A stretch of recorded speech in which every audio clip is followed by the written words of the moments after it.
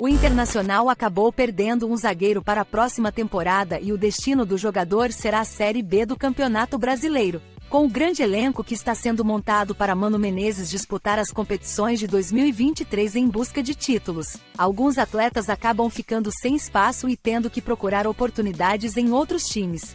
Um dos exemplos disso é o zagueiro Roberto, que já tinha contrato com o Colorado há algum tempo, mas acabou não tendo vínculo renovado. Com isso, o jogador já se despediu do time gaúcho e já planeja os próximos passos em seu novo clube. O atleta usou as redes sociais para agradecer o que o time gaúcho fez por ele nos últimos anos.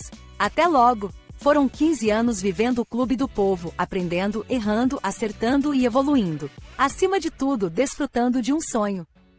Tudo que eu faça, escreva ou diga será pouco para agradecer o que tu, Inter, fez por mim, começou o jogador, que prometeu levar o time sempre consigo em seus próximos passos da carreira. Obrigado por tanto. Saio pronto para novos desafios, mas certo que te levarei comigo, Inter. Isso não é um adeus, porque ser colorado é eterno. Levo comigo essa bagagem.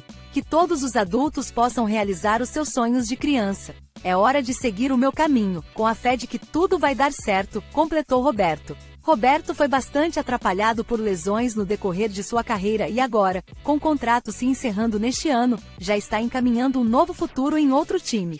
O zagueiro fará exames junto ao Havaí para ver se assinará contrato. O time acabou rebaixado na última temporada e disputará a Série B do Campeonato Brasileiro de 2023.